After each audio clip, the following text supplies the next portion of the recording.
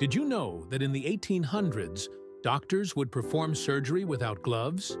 They did not wear gloves because people believed that washing your hands or wearing gloves would offend nature's balance and prevent the body's natural healing process. Can you imagine?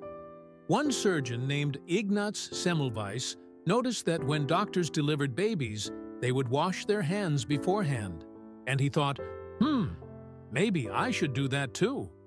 After all, he had seen the maternal death rate drop from 1 in 10 to 1 in 1,000 when doctors washed their hands before deliveries. But unfortunately, he was ignored. He was ridiculed, and his ideas were rejected by society. It wasn't until decades later that we realized how simple a solution this was. Hand washing saved thousands upon thousands of lives. But it took so long for us to accept this simple fact. Want more crazy, forgotten science facts? Subscribe for more forgotten history facts.